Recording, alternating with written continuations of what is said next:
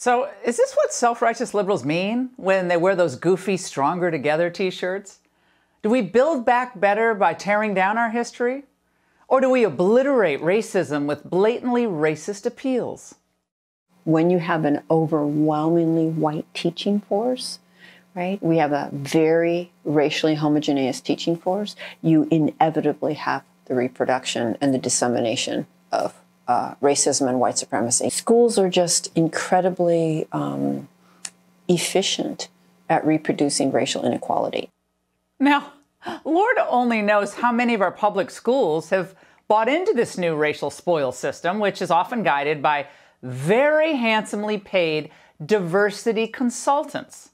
Now, their lesson plans encourage racial introspection, racial thought at all times, not just in history, but in math, grammar, and look, they want you to believe that racism is everywhere in the schools, in society. It's lurking in the science labs near the Bunsen burners and embedded in algebra equations as well.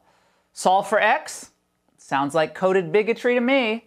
So, first and foremost, I think it's perfectly clear that Laura Ingraham nor anyone at Fox News has any right to talk about hate mongering or the Democrats or the media trying to spread racism and hate because, oh, white people's feelings, of course. Hey, what's going on, everybody? It's Jackson White, co founder and chief of content at Politiscope, and thank you for tuning in today to TYT.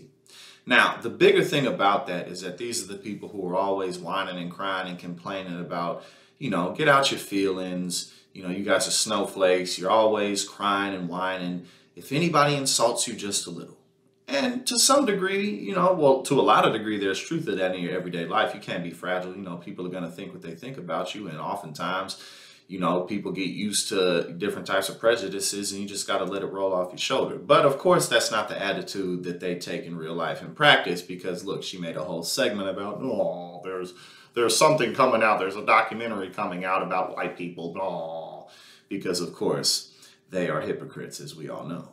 The headline right next to her head is saying, blah, blah, blah, challenges white fragility while you're being white and fragile while you're doing the very thing that you're complaining about, of course, because this is what they do. But also, what they do is they run entire segments about, ah, the immigrants are coming, the caravans are coming, and they got drugs, and they got smugglers, and they got Antifa, and they have terrorists from the Middle East coming and smuggling up through the Central America and through Mexico, and they're coming in there. We can't, we, we can't have that. We can't let that happen. In fact, we have to ban all Muslims from coming in this country because we just don't know what they're going to do. We don't know if we can trust them you know but but of course see that that's okay that's okay why because it protects white feelings and if all these viewers who tune into Fox News really didn't care about these things, then why would their entire political agenda be we can't let critical race theory be taught in elementary schools, even though it's not? But really, what that really boils down to is don't don't let our kids know about where we come from. Don't let them know about the history of this country. Don't let them know. Why? Because it protects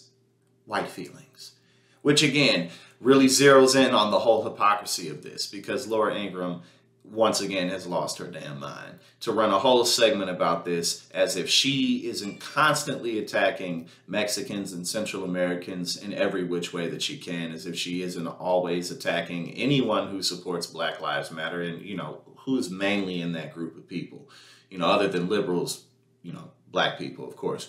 But, you know, none of that counts. And we can't let kids learn about slavery. We can't let them learn about segregation. We can't let them learn about institutional racism because it's not real. Because that that is what you know perpetuates the problem. Learning about it, that's what keeps it pushing. Learning about the cancer, that's what keeps it there. These people are ridiculous.